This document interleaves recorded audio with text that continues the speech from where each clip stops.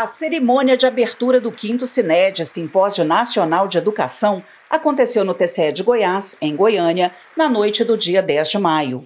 O coro infantil do projeto Segurarte e o quinteto de metal da Polícia Militar de Goiás se apresentaram para as autoridades, gestores e educadores presentes, cantando e tocando músicas populares e o hino nacional brasileiro.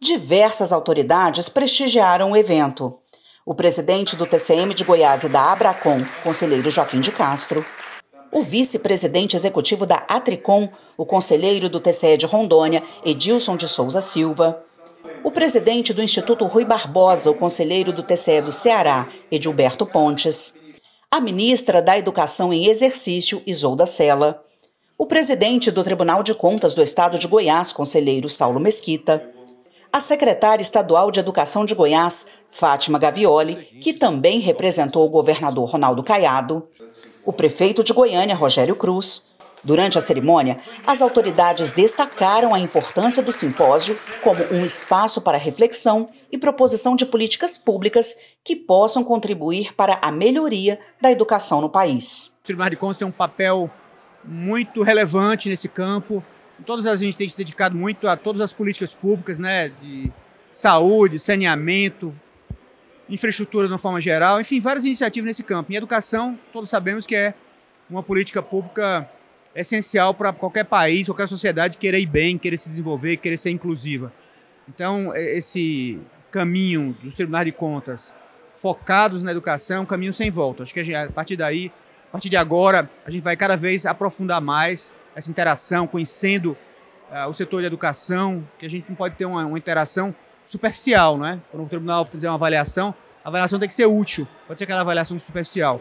E para avaliar bem, a gente precisa conhecer muito bem o setor. Um simpósio como esse, esse Simpósio Nacional de Educação, que é a quinta edição já, a interação com as universidades, conhecer os setores, conhecer os dados, conhecer os principais pesquisas, enfim, se apropriar, que isso entre no sangue na alma das instituições dos, dos tribunais de contas. Com isso, a gente vai conseguir, de fato, ter uma contribuição relevante. Esse diálogo em todas as esferas da federação, com participantes de todos os estados, é muito importante para a gente fazer uma troca de experiências, que é totalmente salutar para quem quer aprimorar a educação no Brasil. É uma oportunidade ímpar que os tribunais de contas têm para discutir a, a, educação, discutir a eficiência e eficácia das políticas públicas voltadas para a educação. Nós só vamos é, ter uma qualidade de vida melhor se investir na, na, educação, principalmente na educação fundamental, como a própria ministra é, é, é ressaltou aqui neste evento.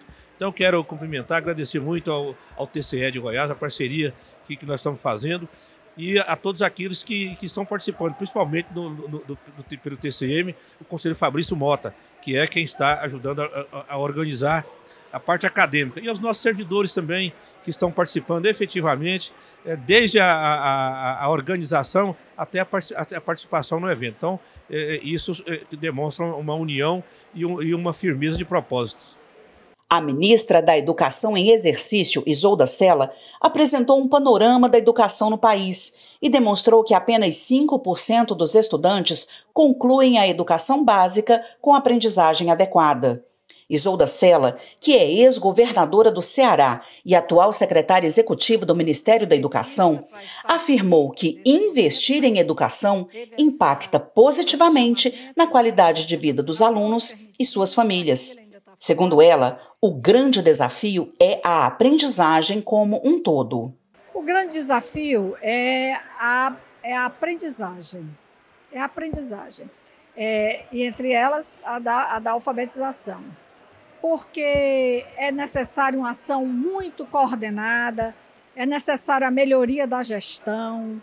Não adianta ter, por exemplo, o melhor material pedagógico se você tem uma gestão que permite que os dias letivos não sejam cumpridos, que a frequência das crianças não é acompanhada, que acontecem os dias letivos sem a presença do professor titular, e outras coisas que fragilizam de partida o processo de ensino-aprendizagem. Então, esse é o desafio. Mas eu, eu sempre digo, não é nada também extraordinário, é muito simples.